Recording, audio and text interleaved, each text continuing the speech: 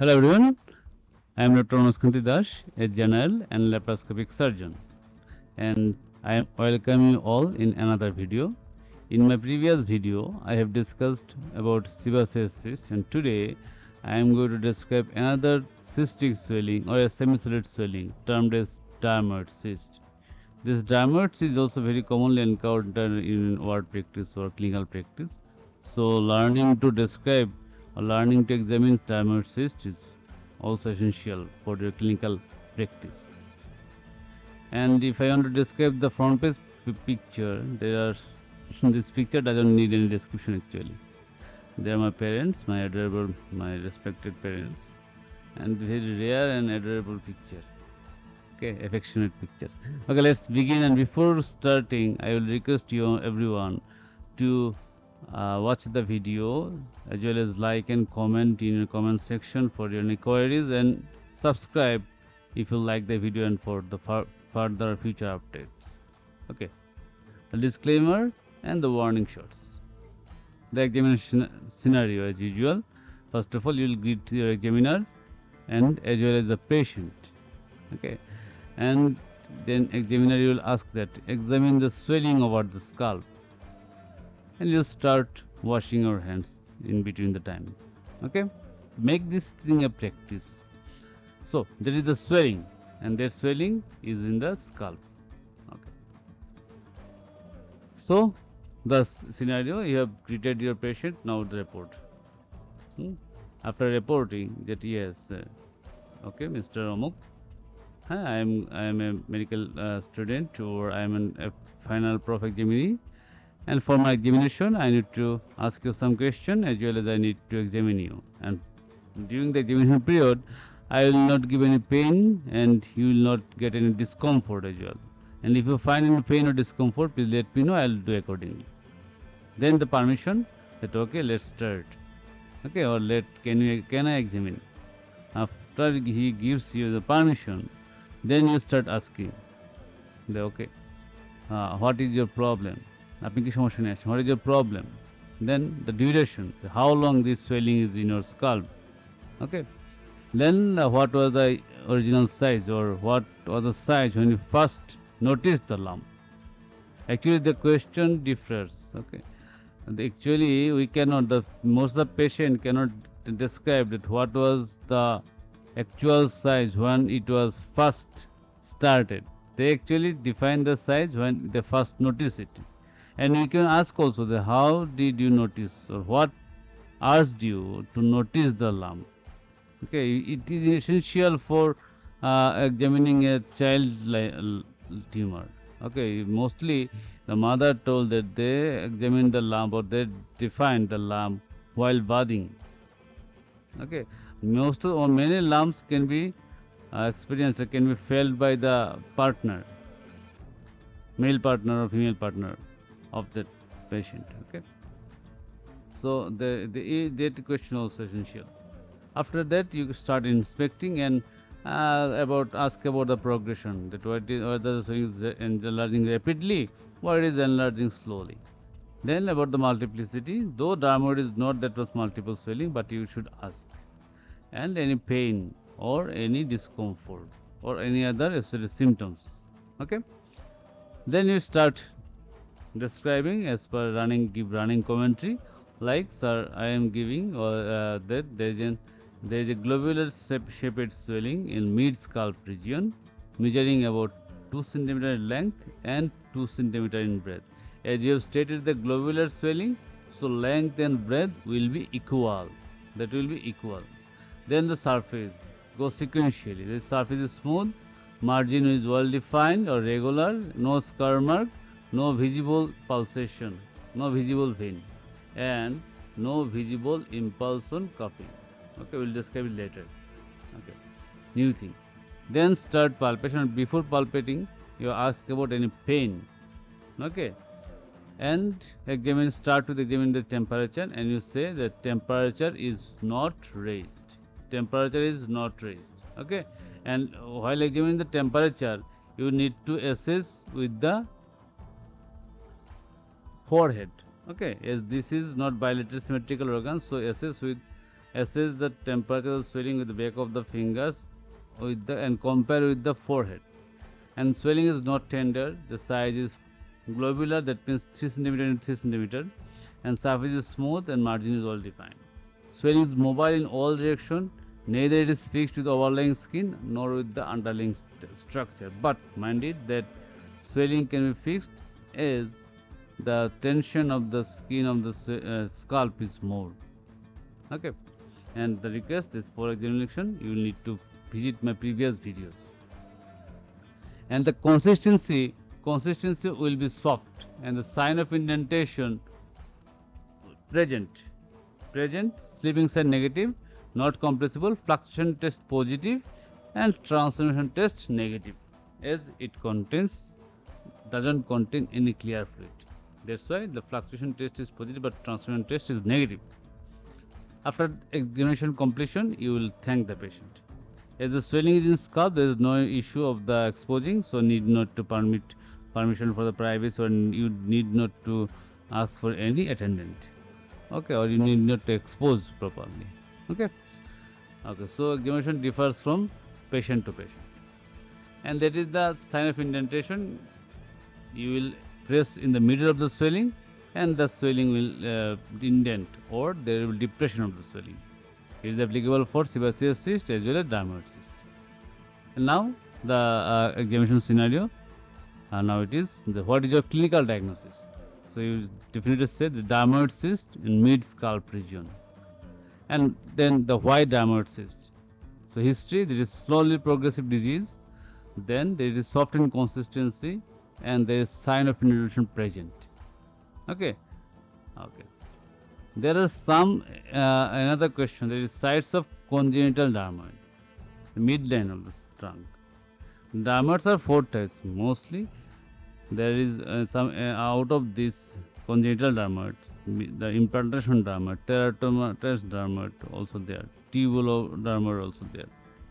This congenital dermoid usually occur in the suture lines, fusion lines, like midline of the body, midline of the trunk, anywhere, the spines, okay, the chest cavities. And that can occur in outer and outer or inner ends of upper eyebrow, inner canthus of upper eyebrow. There is frontonasal and maxillary process fusion line okay.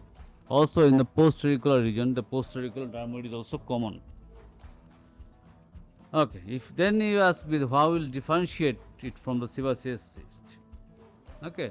Then you will tell this, this is the sir sebaceous differentiate kori with by punctum in inspection. And there is sebaceous cyst is fixed to the skin but dermoid cyst is not. Okay. But in case of scalp sebaceous cyst that is also fixed to the swell, uh, scalp as well as there is no punctum. So it is hard to differentiate. So site is very important. If you find any midline swelling or any swelling near to the fusion line you may tell that is uh, dermoid cyst. Okay? Because that is easier to defend. Okay? So in a clinical examination your defense line is need to be very strong. If you give explanation for everything even if you tell the wrong things you will pass. Okay? So what clinical examination in addition to the previously mentioned to be examined to determine the cyst you need to examine two more things. One is the cough impulse or test we have described another bony indentation. Okay. So what is bony indentation?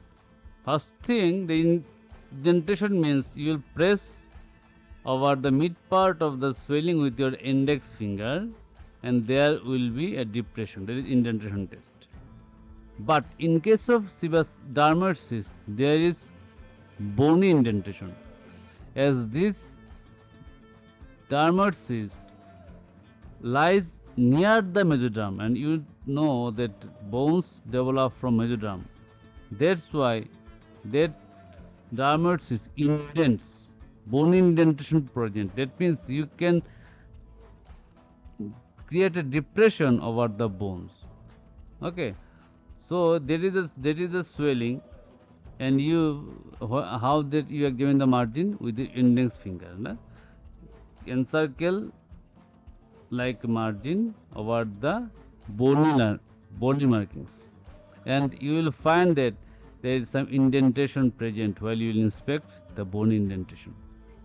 So over the swelling you will just press like margin and you will feel that there is bones like pitted. The soft in consistency that is bony indentation okay? And another thing is the cough impulse test. You know cough impulse test is used to look for the reducible swellings like hernia most commonly.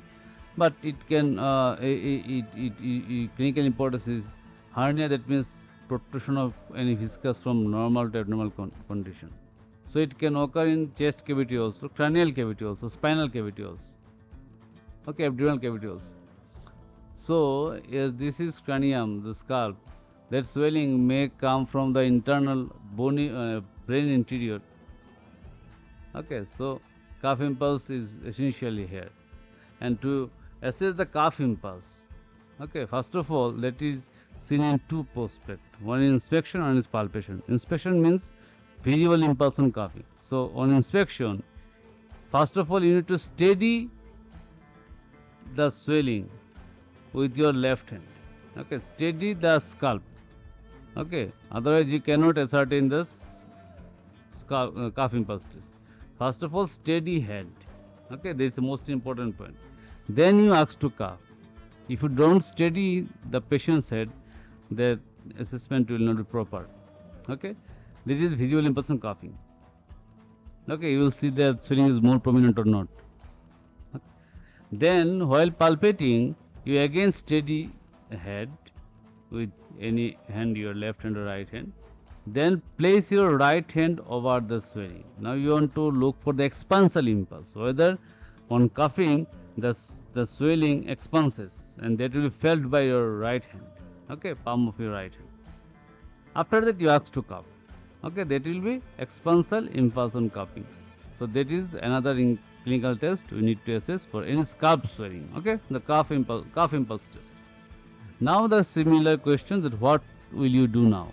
then sir I will go uh, I will consult the patient as well as I will go for some routine test to, for the surgery okay and before that uh, clinical test if you find anything cough impulse test positive you need to that thing will be complicated we will discuss later so first of all what surgery will go for next I will go for the complete excision of the cyst then what anesthesia and why Okay, so we go for the general anesthesia. Though the swelling is small, but we will go for general anesthesia. Why?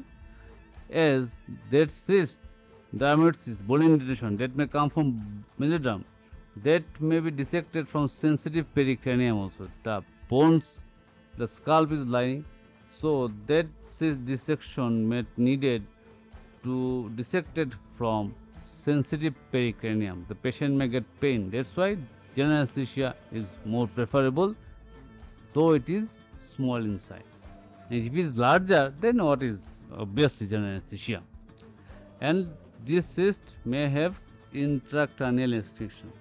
Okay. So general anesthesia is mandatory here. And how will incise? It is typical that incision will be linear and if the swelling is larger incision will be elliptical we all know and linear means linear elliptical means ellipse. Okay, if you find that cough impulse is positive, what additional investigation you will advise? So you need to know that whether that is come from the bony brain or not, herniated from brain.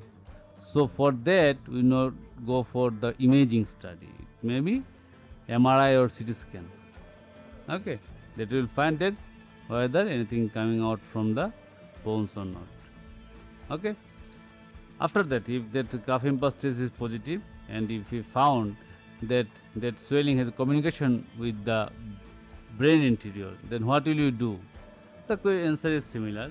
Sir, I consult with the neurosurgeon and operate him after proper assessing or proper imaging and proper counseling and with accordance with the neurosurgical surgeon will go for the operation. Okay, that is the answer. Okay. There is also a swelling, it is in the external dermoid and you are finding that there is a previous scar mark. okay that is previous scar mark that indicates that it is recurrence so if you uh, if you see find any patient over there describe the scar mark properly. It is one is line that line another that line so describe the scar mark properly and you will be asked that what is the cause of what are the cause of recurrence. First of all the technical factors. The surgeon inadequately couldn't identify the uh, couldn't remove the swelling. The surgeon's fault. The pathology fault also there multiloculated okay or the infected that may they, the operation may be done in infected state. That's why the proper operation could not be done proper surgery could not be done. So these are the things. The cause of recurrence is very essential if you find such swelling in your clinical practice. Okay.